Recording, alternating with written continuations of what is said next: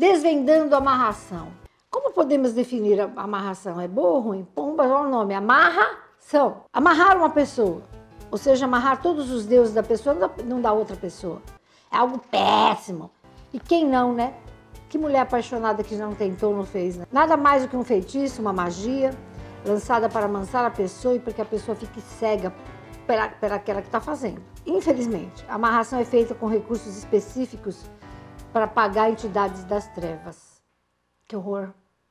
Eu não estou aqui para te criticar, mas se você fez, é melhor você fazer 30 dias a hora da misericórdia para desamarrar e procurar o feiticeiro que fez para desamarrar. É só a pergunta, né? Tem algumas perguntas. É só de cunho amoroso? Não, você pode amarrar teu chefe.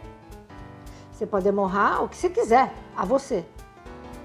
Patrão, empregado, tudo, tudo, tudo. Dono de uma televisão. De repente você quer ter um programa, você vai lá amarrar. O que, que é isso? Quais são as consequências da amarração? Devastadoras para a pessoa que é amarrada. Mexerá muito com o livre-arbítrio dela, deixando-a cega. Ela vai ser uma escrava.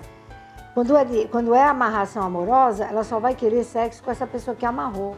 Ela vai ficar impotente para outras pessoas. A vítima terá também sonhos, pesadelos terríveis, sonhos eróticos demais com a pessoa que amarrou. Ficará desanimada, apática perante a vida, bobão, sabe? Bobo.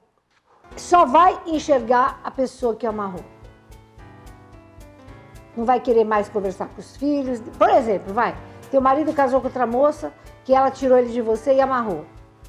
Seu, aí você tem filhos. Seu homem tem filhos, sempre foi bom pai. E não vai olhar na cara das crianças. Tudo que vier daquela mulher, ele vai rejeitar. Sentirá dores no corpo, porrada, porrada de dor no corpo. Amarrado, né? Quem faz amarração? Querido, um bruxo, feiticeiro, qualquer coisa nesse nível. É preciso ser um grande mago negro para amarrar. Como é que ela é feita, né? Ela precisa do endereço vibratório, ou seja, um fio de cabelo do cara.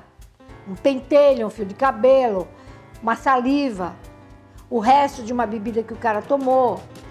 Portanto, se você tiver filho, faz que nem eu, né? Não deixa a criatura se pentear na casa da noiva. Ha! Aquele fiozinho de cabelo vai ser básico.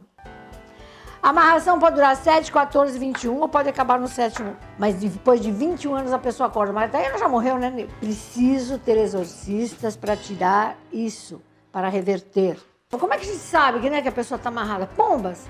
A pessoa começa a perder dinheiro, fica pobre, pô. Adianta amarrar um cara para ficar pobre? Pobre. Sabe a pessoa amarelada, caída?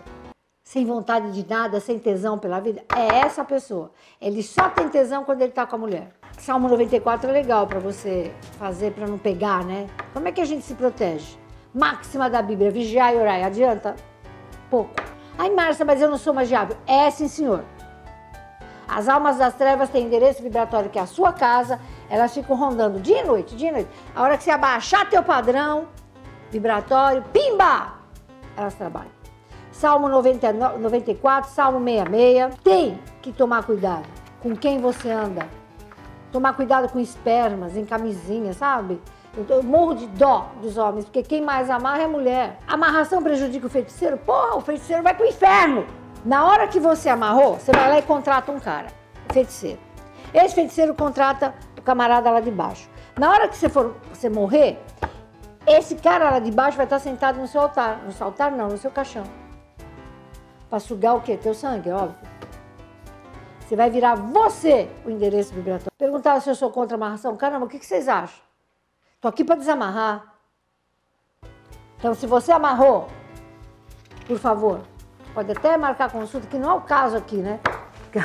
Eu não estou falando que eu quero vender consulta, para a gente desamarrar.